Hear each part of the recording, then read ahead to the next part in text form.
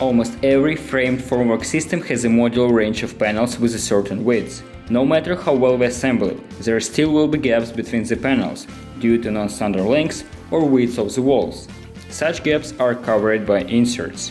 Wooden beams are usually used for such purpose. Those need to be often replaced and additionally strengthened by the weldings, even so leveling couplers are applied.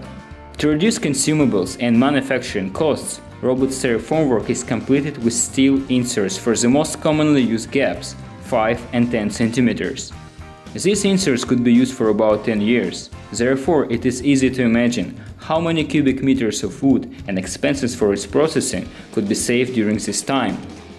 Steel insert is easily and quickly fixed between the formwork panels, and there is no need to drill it as the holes for tie rods are already there.